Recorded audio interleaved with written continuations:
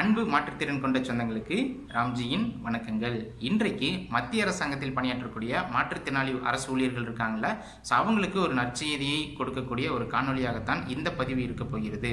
என்ன அப்படின்னு பார்த்தீங்கன்னா மத்திய அரசாங்கத்தில் பணியாற்றக்கூடிய மாற்றுத்திறனாளி அரசு ஊழியர்களுக்கு ஒவ்வொரு வருடமும் அரசாங்கமானது இந்த பயணப்படி அப்படின்னு சொல்லுவாங்களா டிராவலிங் அலவன்ஸ் டிராவலிங் எக்ஸ்பென்ஸ் அந்த டிஏ அப்படின்னு சொல்லுவாங்கள்ல அந்த பயணப்படியை வந்து இரு மடங்காக வந்து உயர்த்தி கொடுத்துட்ருக்காங்க கடந்த ஆறு வருடங்களாக. ஸோ அதே போல் இந்த வருடமும் மற்ற பணியாளர்களுக்கு அந்த பயணப்படியானது இன்க்ரீஸ் பண்ணுவாங்க.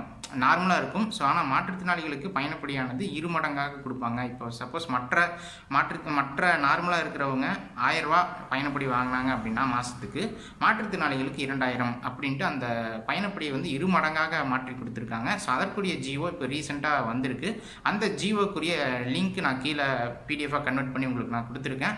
அந்த நிதித்துறையினுடைய அந்த பி பிடிஎஃப் ஃபார்ம் வந்து நீங்கள் டவுன்லோட் பண்ணி நீங்கள் பணியாற்றக்கூடிய உங்களுடைய அலுவலர்களுடைய உயர் அதிகாரிகளிடத்தில் நீங்கள் கொடுத்தீங்கன்னா அதற்குரிய நீங்கள் தொகையை நீங்கள் கிளைம் பண்ணிக்கலாம் அப்படிங்கிறது இந்த நேரத்தில் ரொம்ப மகிழ்ச்சியாக உங்கள் இடத்துல நான் தெரிவிச்சுக்கிறேன். இந்த காணொலி நீங்கள் பார்த்து கொண்டிருக்கிறவங்க யாராச்சும் மத்திய அரசாங்கத்தில் உங்களுடைய நண்பர்கள் மாற்றுத்திறனாளி ஊழியர்கள் பணியாற்றினாங்க அப்படின்னா அவங்களுக்கு இந்த நற்செய்தியை நீங்கள் கொண்டு சேர்க்கும்படி இந்த காணொலியை கொண்டு சேர்க்கும்படியும் உங்களை அன்புடன் கேட்டுக்கொள்கிறேன். நன்றி வணக்கம்.